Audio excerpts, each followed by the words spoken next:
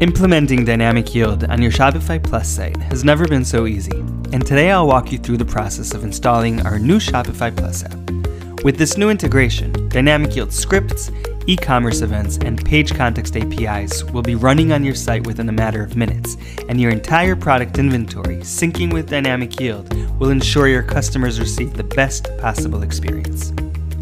Once in the installation screen, all you need to do is enter your Shopify domain and hit the next button. On the next screen, click Install Unlisted App, upon which you'll be prompted to Connect App on the following screen. In the Shopify app settings, complete the integration by entering your Dynamic Yield ID, access key, and secret key as emailed to you by your CSM.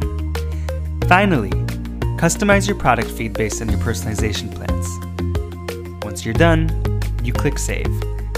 And that's it. You now have the power to unleash true personalization on your Shopify website with absolutely no IT effort. Shopify Plus is just one of many integrations we support within Dynamic Yield. To learn more, visit our integration page at www.dynamicyield.com/integrations.